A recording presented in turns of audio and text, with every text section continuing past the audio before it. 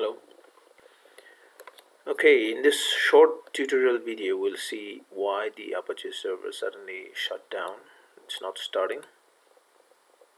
Now the error message that we're getting uh, on the XAMPP control panel is uh, error Apache shut down unexpectedly. This may be due to block port, missing dependencies, improper privileges, crash or shut down by another method.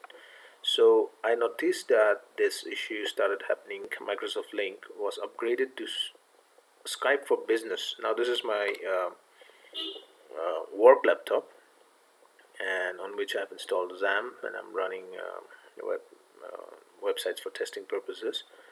Now this should also happen when you install Skype on your machine. So because this is happening because Apache uses the port 80 for HTTP and 443 for HTTPS with SSL. Now Skype also uses the same uh, ports and there's a conflict. That's the reason why uh, Apache server is not starting here. So we'll see that.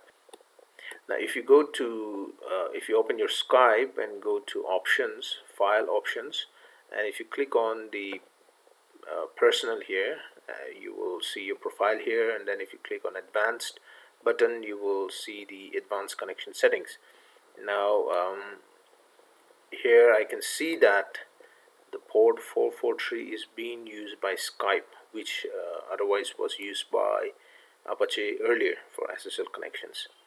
Now since this port is fully taken by Skype Apache does not have the port 443 available for SSL so this is why um, we are facing this issue. So I don't want to change the settings for Skype here. I just want to keep it as this I don't want to fiddle with it. So I'll just go to uh, Apache connections and I will change the port for Apache instead. So let's go back to our XAMPP control panel. If you are facing this issue suppose you have Skype on the same machine as the XAMPP then you can change the port for Apache so that both the applications can run without interfering with one another. So to start off with you can XAMPP is already telling us that we should look for the logs and event viewer. So you can just go to logs and see what is the error message. So the error message that we're getting here is there's some there's your date and time the warning and the message is that www.example.com 443 server certificate does not include an ID which matches the server name. So this is the error message we're getting which is not very clear actually but we can see that the problem is with the SSL port 443. So um, let's go and change some few things here.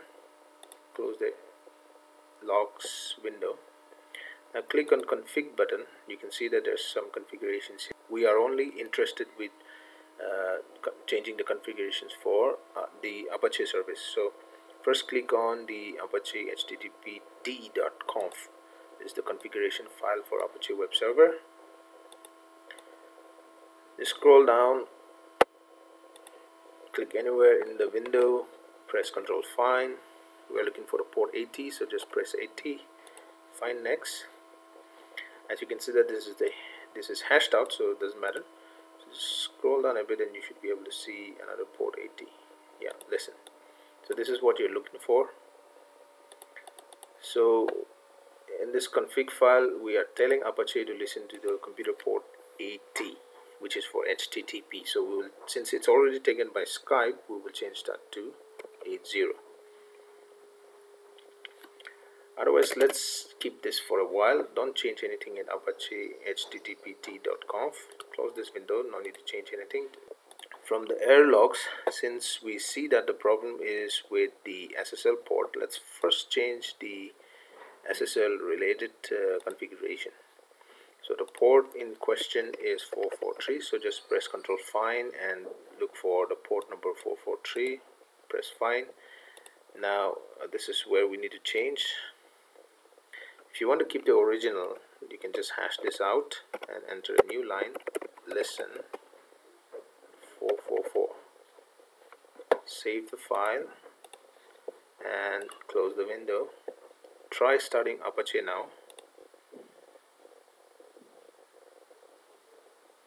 So it doesn't start. So looks like we still need to change the HTTP port as well so let's go to config go to http conf look for port 80 hash this out so that you can refer to it later. Listen 8080 so now what this does is that 80 is the HTTP default port. So since we are changing the HTTP port to 8080 your local host websites will be accessible by using the port 8080 save this file close this and try starting Apache. Now as we can see Apache has started successfully by using the port 444 for SSL and 8080 for regular HTTP MySQL service starts without problem so this is how to resolve the problem for Apache after you install Skype since both the applications will not run simultaneously or together on the same system by using the same ports. So if that is the case then you can as we have uh, seen you can just go to http-ssl.conf and httpd.conf and change the ports for HTTP and SSL